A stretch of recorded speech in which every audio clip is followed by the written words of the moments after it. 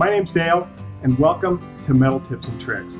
I'm really excited about uh, this video because I'm starting a whole new segment I call Build It, Use It. And that's where I end up building some sort of tool, tooling, or machine to do something here in the shop. Now, let's talk about what is tooling. Tooling is anything that you add to a machine to improve its functionality. What is a tool? It's more like a hammer, a wrench, a digital caliper. And of course, a machine is like a Bridgeport. No, we're not going to build a Bridgeport. I think that would be a little ambitious. But there are other machines that I do need to build from time to time, like a bead roller. So what I want, so why I'm so excited about this, this is going to be an ongoing series teaching you about how to build things for your shop that you can use and expand the capacity of your abilities in your shop. Today, we're going to build a spindle square. A spindle square is used to tram in the head of your milling machine. What's also unique about these is you don't use them for very many things. They're not a versatile tool. They're pretty much just set up to tram in a milling machine. You could do something on the lathe, but it's not quite as accurate. But I've never owned one until now because the one that Starrett sells is over $200 and it's hard to justify expending that kind of money on something that you don't use very often. But with that being said, I've always wanted one because the thing I hate to do most in the shop, and I mean I really do not like to tram the head in because the old way is very frustrating where you set in a dial indicator and you spin it from one side to the other and try to tram this in and well you end up fighting it. This here eliminates a lot of that challenge. So let's talk about it. Very simple to build. It's basically four parts. Actually let's count six because we have two screws in it to lock in the dial indicators. We have the main body this bar here. It's six and a quarter inches long. And then pressed into it is a shaft. This shaft here is from three quarter inch cold rolled stock. And then of course, two very affordable dial indicators from Harbor Freight. They're about 15 bucks a piece. So to have about, you know, a little over $30 into this project, and it's going to save me a lot of time, so I think that $30 is a great investment. So let's talk about some of the engineering that goes into this. It's not a complicated thing. The distance here is going to be 5 inches. And the why I got it set up for 5 inches is because it fits right on top of the vise. And I can square the vise in and tram the head to the vise. And I can, which is sometimes preferable because you never know if your vise is actually true to your tabletop. When you bolt your vise down, there could be some little shaving in there that you missed, throws it off. So it's better to tram this in. It's a six inch vise, so I decided to go with a five inch on center here. The other things you got that you want to be careful about is these gauges, if they're brought in too close,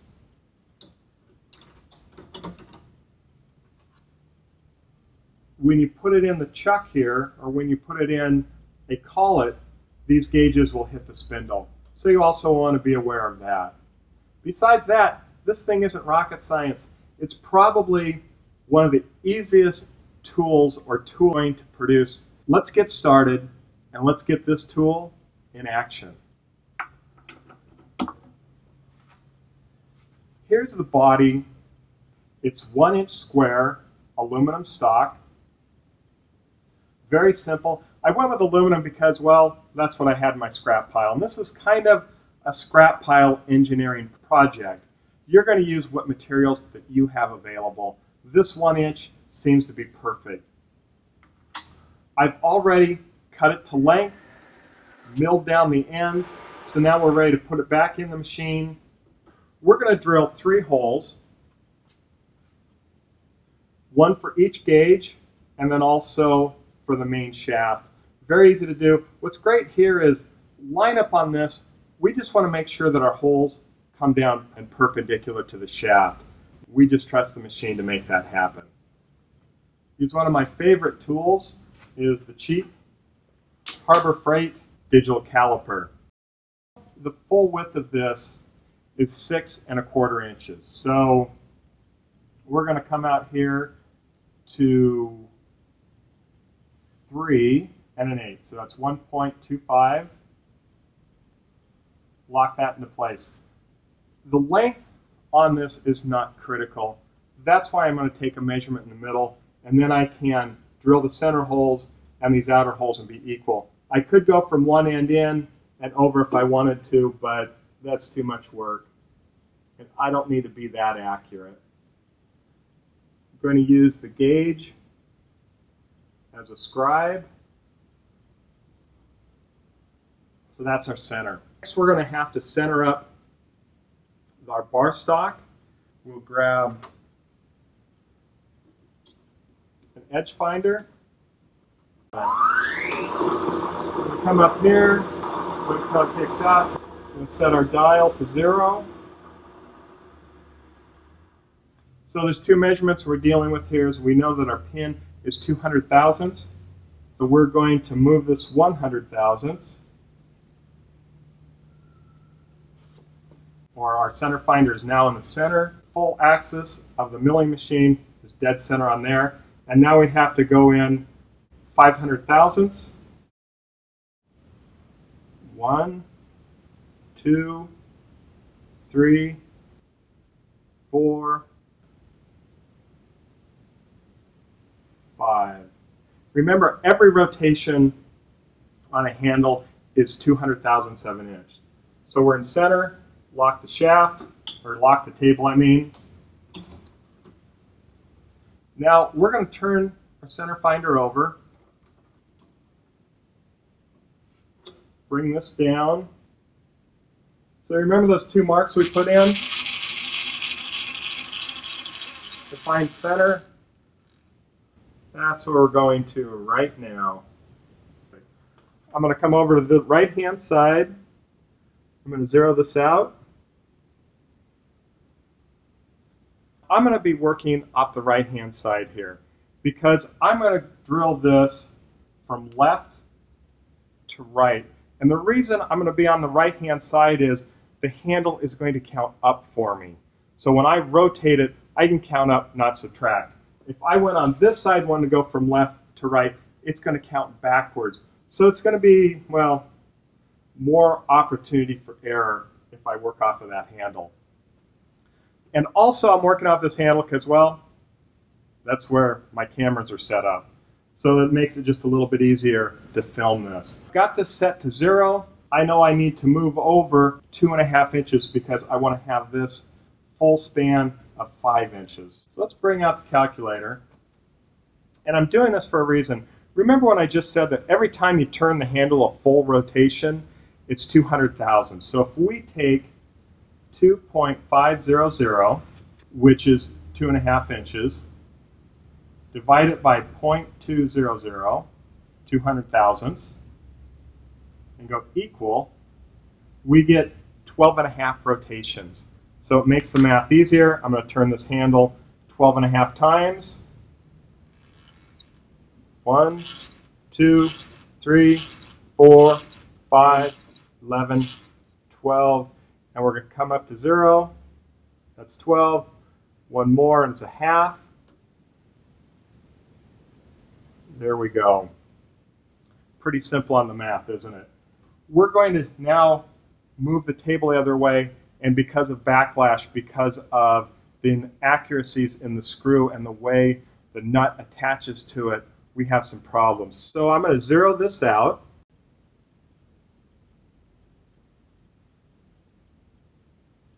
I know that my machine is 13 thousandths off. So I'm going to bring this over to 13,000. There's 11, 12, 13. Come back to zero. Now I'm set to do the work here. Drill a pilot hole, a 3 8 hole, move it over two and a half inches. We're going to drill, drill a pilot hole, 3 8 half inch, then go another two and a half inches and drill the final set of holes.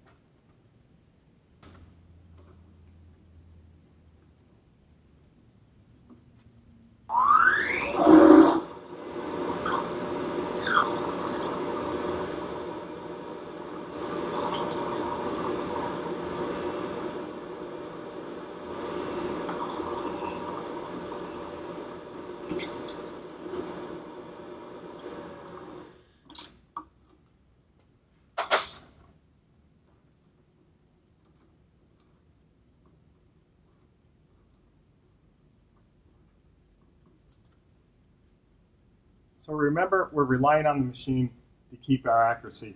We're already centered here. This is where we're going to go back 12 and a half turns of the crank. So 1, 2, 11, 12 and a half.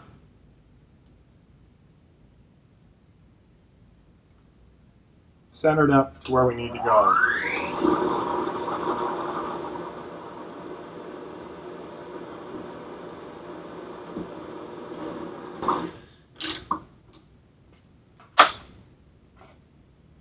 This is where the advantage of a keyless chuck is excellent.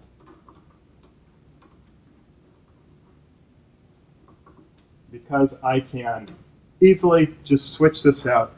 Now, I'm going to tell you something about keyless chucks. This is goes up to a half inch. Do not put anything larger in it than a half inch. I don't care if you have, well, let me grab a drill bit. Technically, you can put this drill bit inside this chuck. Don't ever be tempted to do it because the action on this chuck, it self-tightens. If you end up putting something in there larger than a half inch, this has more lever, leverage action when it's drilling, and it will tighten up around the shaft to where you may not get it off without damaging the chuck. I say that of a very expensive education this is a cheap Chinese um, chuck. It's a copy of an Albrecht. The reason I'm not using my Albrecht chuck is because it got damaged when I used too large a bit on it. And, well, let's just say, very expensive education, and I hope you learn from what I just told you. I don't want to hear an email saying, hey, I used it, it worked. Guess what? You got lucky. Next time, you're not going to get lucky. So let's keep, keep drilling. So we drilled the pilot hole. We're going to do a 3 8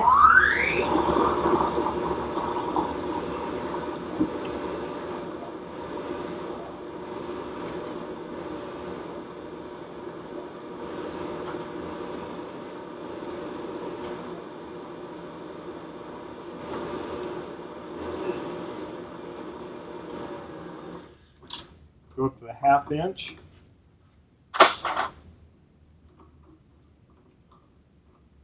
Now this hole that I'm drilling here is really up to the size of material that you're working with. I'm going to drill a half inch. Well, I'll go into the detail a little bit later, but this is going to be a half inch hole. The shaft is going to be turned down and pressed fit into here.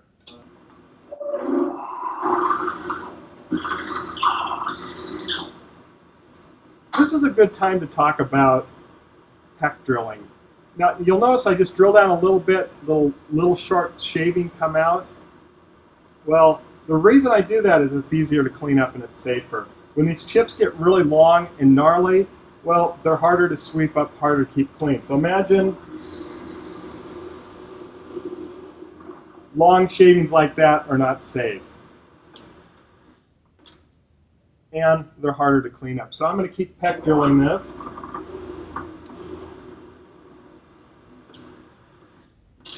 two holes down, rinse and repeat. So we need to go 12 and a half rotations again. One, two, and we're going to go to a half.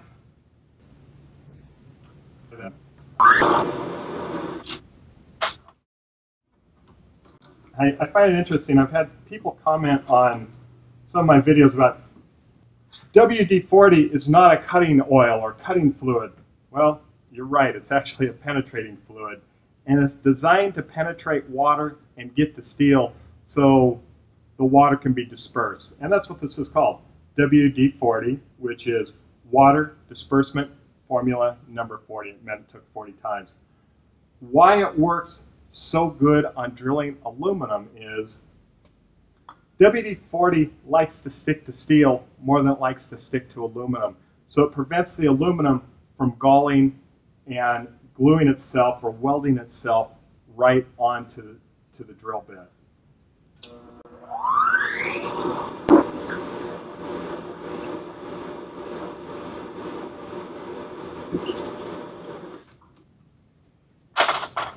Next, we need to deburr the uh, the holes. Now I could have put, put this in as a drilling process,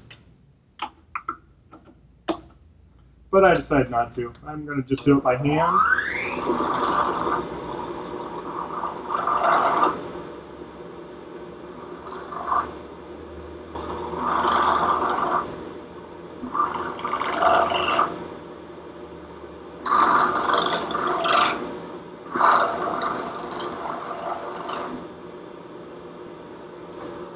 Good. Now let's go back to our, our prototype. I've got two holes I need to drill in here to set a um, Allen cap-headed screw. This is kind of a simple thing. This size here is, I think, 1024. Again, use what you guys have in stock.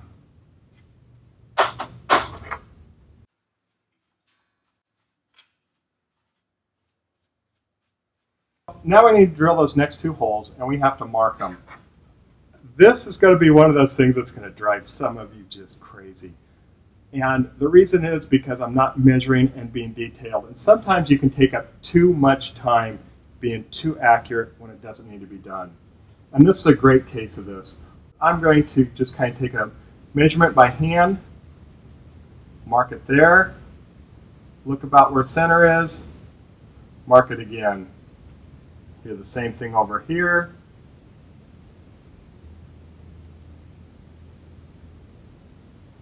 Boy, I'll bet some of you are freaking out right now. But it's good enough for this particular project. I don't need to build, you know, if I had to build 50 of these, I would do it a different way. I would set up stops and that kind of stuff and have it detailed. This is a one-time operation. So let's make our lives easy. The whole drilling process on this one's going to be a little bit more complicated. We're going to do a pilot hole, a hole for the threading, then we're going to come through halfway, drill it open so the threading is clear, and then we're going to tap it. First will be the pilot hole.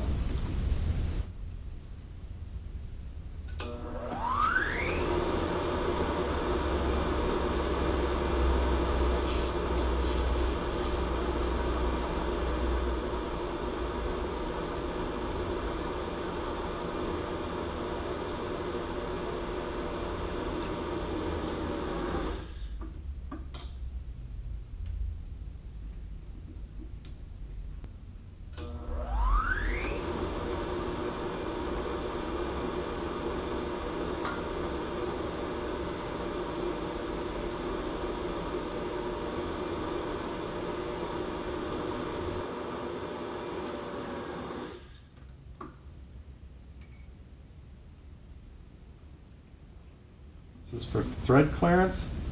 It's only going to go down a half an inch. And again, I'm going to ballpark it. I've got a gauge up here, up on the top of the head. I'm just going to ballpark a half inch.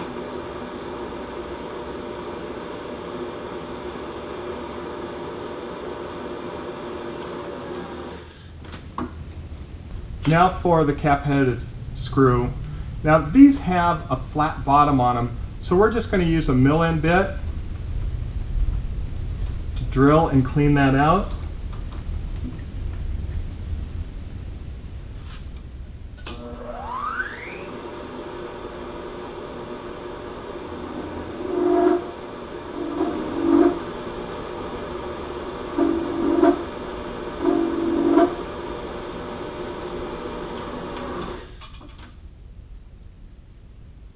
check it, do it again.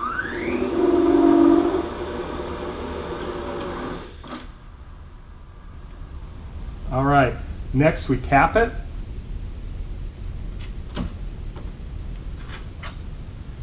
This is a good one to power tap, but since I haven't been uh, working in the shop in a while because of, well, moving, I'm going to do it by hand. Aluminum's always great to do by hand anyway. I don't want to break this tap off.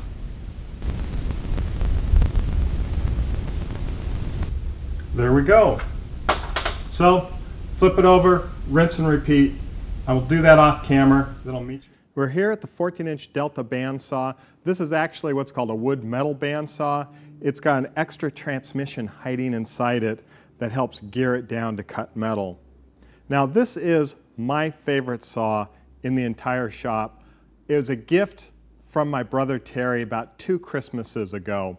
He picked this up on Craigslist and to be honest, it was not in perfect condition. Well, it was excellent. It was about two weeks before Christmas. I was going down to California to visit my in-laws.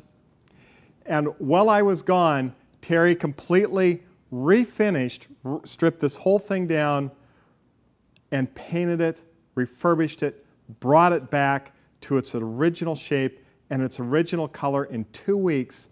And when I got home from, from Christmas, he had it all wrapped up with a big bow on it sitting in my shop. What an excellent, excellent surprise. So, Terry, thank you.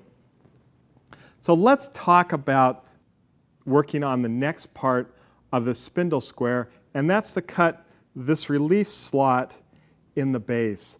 And what this release slot is for is when you tighten down the screw, it allows it to clamp around the dial indicator. Now, the further we get back here, the easier it is to clamp and the less we have to torque down the screw. So we're going to probably go back about a half inch on this hole. And let me show you how I'm going to do that.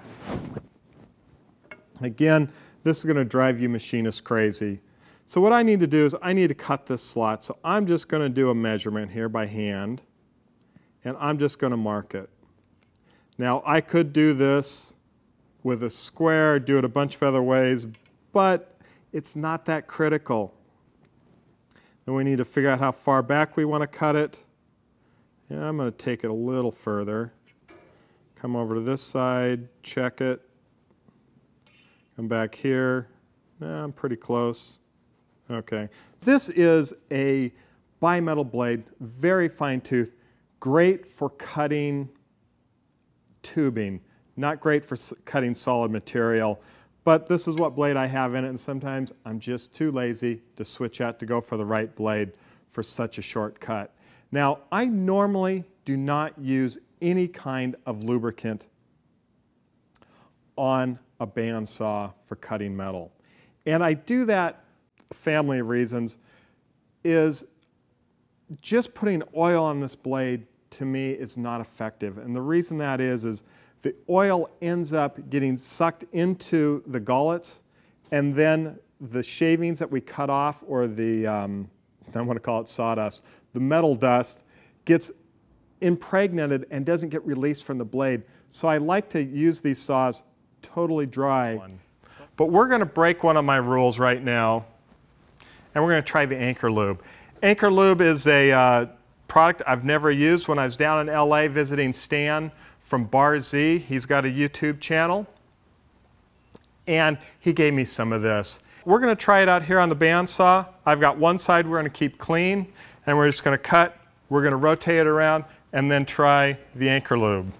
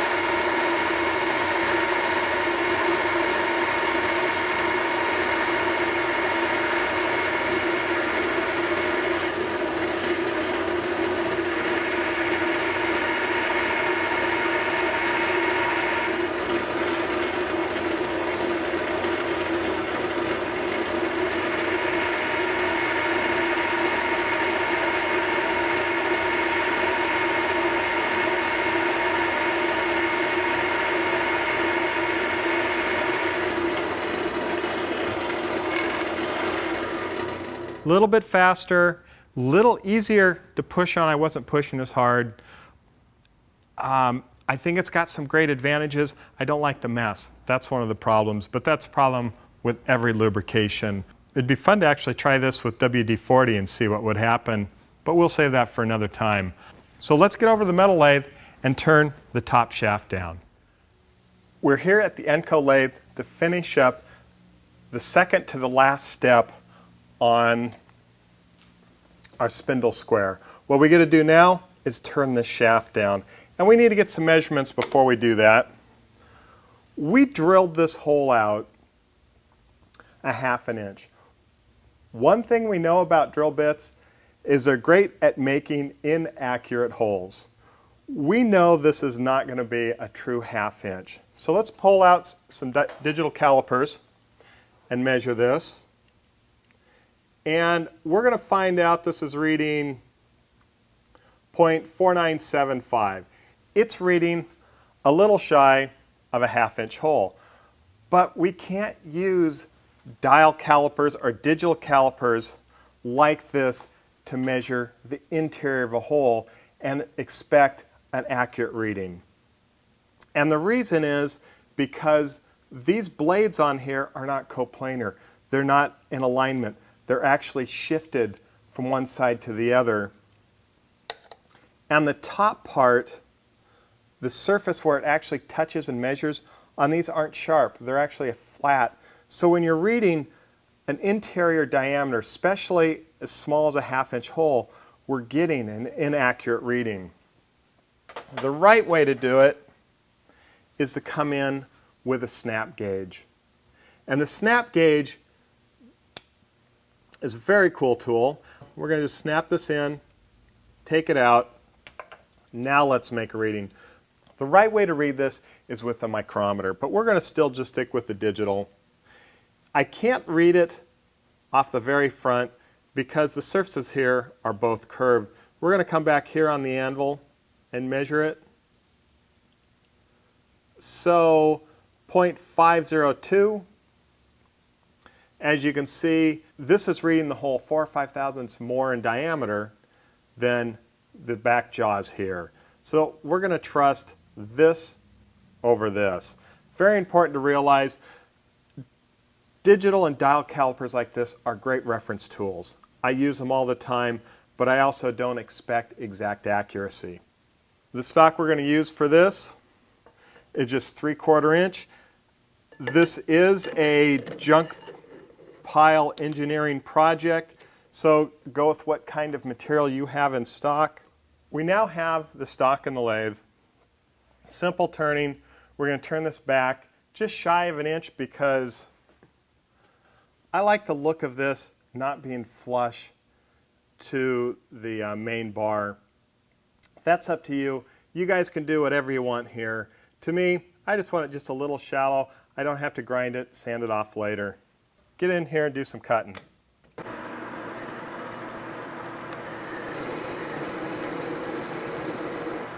Referencing is a great way for coarse measurements. And what I'm doing here is I know my cutter here is a half inch. So I basically just went double the width. See what we got here. Well, that's not too bad. 0.987. Maybe I'll go a little bit further. But it gives you an idea that there are things that we work with on a daily basis that we can use for coarse measurements, and that's exactly what I'm doing here.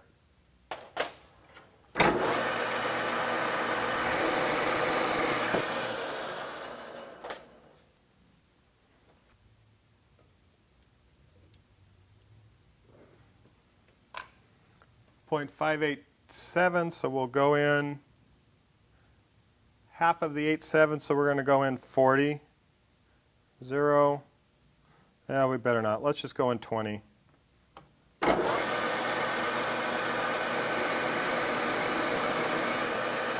Another 20.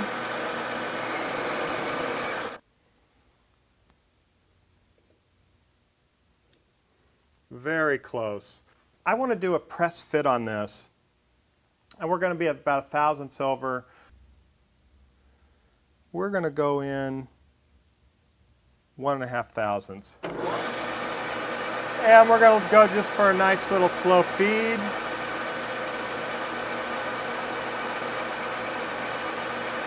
And I'm going to, we're going to see how good I am here. If I'm a little, a little large, I'll actually do the final diameter with a file.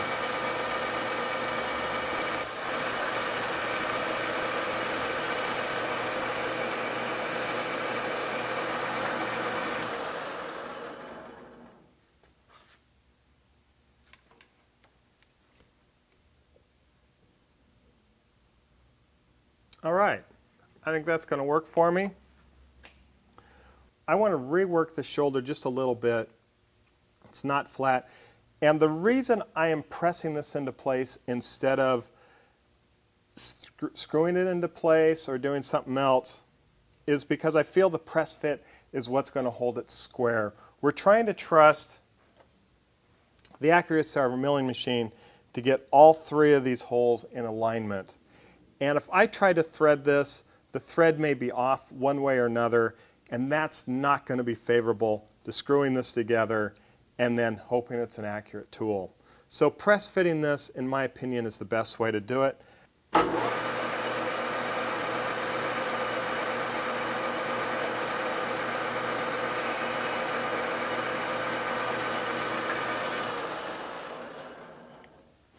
The angle of this bit when it cut in actually cut this in at a slight taper.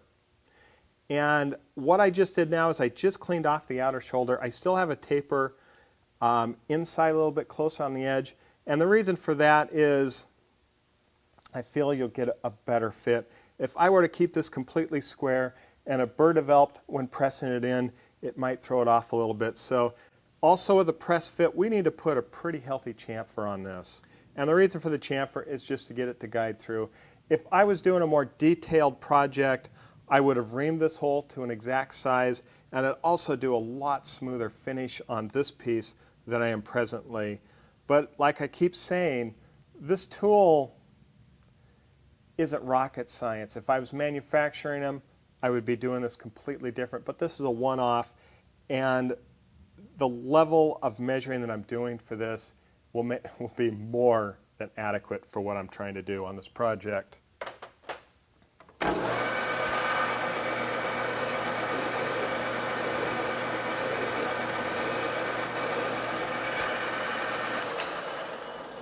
Okay, feeding the trolls twice on that one. Um, I'm sure some of you guys have caught it. Some people say, don't file over the top of the chuck. Only time I've ever, ever hit the chuck filing is when I try to do something left-handed when I'm a right-handed person and I don't have the skills left-handed I do right-handed and I'll try to do this and the file will get pulled over into the chuck. The other thing is I'm using a lathe file and the angle that is cut here is really steep and that allows the chips to slide out much quicker and with less um, problem but it also makes this file want to kick over quicker. So you really have to get steady, get in there and do it. And I'm going to see how many people know how I fed the trolls twice on this one. I just gave you one. You guys find the other. Now we're going to do the polishing of the shaft.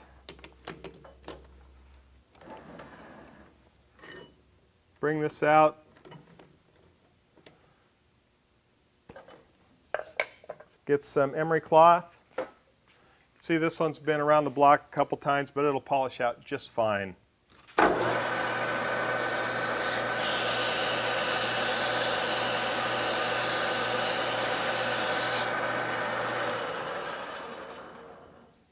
This one we got to go a little faster. Let's save some time, speed it up.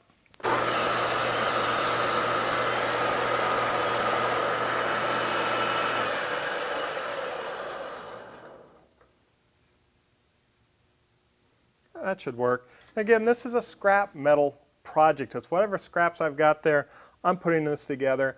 I'm going to bet 100% that this is going to be fine. I'm going to cut this to length next, turn it around, chamfer the backside, and then I'm going to meet you over at the press. It's time to assemble the spindle square. We've got our shaft, we've got our main body, and we're going to press this into position. There's different ways we can press. I've got this um, homemade press that uh, looks homemade. It was designed for one project. It was assembled out of um, a stair, what do they call it? A stair elevator. You know, you bolt it to the wall and they have a chair that you ride up. The cylinder came out of a human body lift. So if you need to pull somebody out of a bed, that's what the hydraulic system came from. What I like about this is it's got like, I don't know, 12, 14 inches of travel. Great advantage. It's funny, I built this for one job. I've had it now for about two years. It's one of the great tools in the shop. So simple to build, so versatile that I want to build a bigger one someday. But that's for another build it, use it project. So let's press this together. Actually, there's different ways to press this together. If you don't have a press, you can put this into a vise, squeeze it together. You could use a bar clamp. You can use, boy, whatever you have that can pinch down on this. I do not suggest using a hammer though. This is not a job for a hammer. We're trying to be somewhat delicate here. But let me show you how this is going to work. Very simple. The goal here is to keep it square. Just press it in. This is when you're going to find out